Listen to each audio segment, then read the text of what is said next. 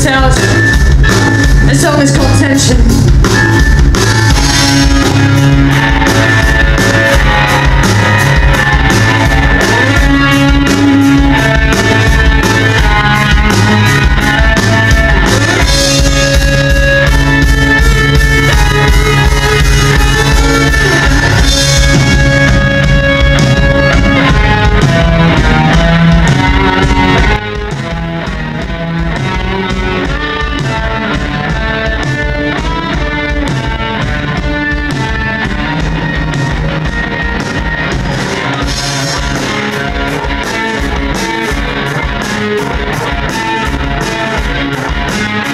Thank